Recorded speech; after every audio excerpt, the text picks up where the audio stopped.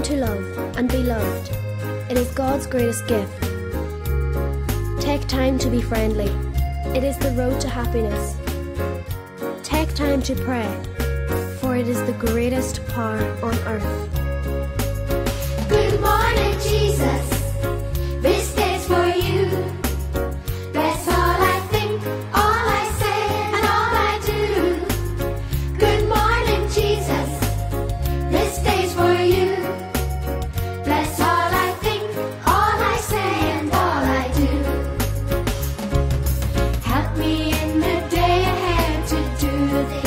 should. Cause when you're with me, Jesus, I know.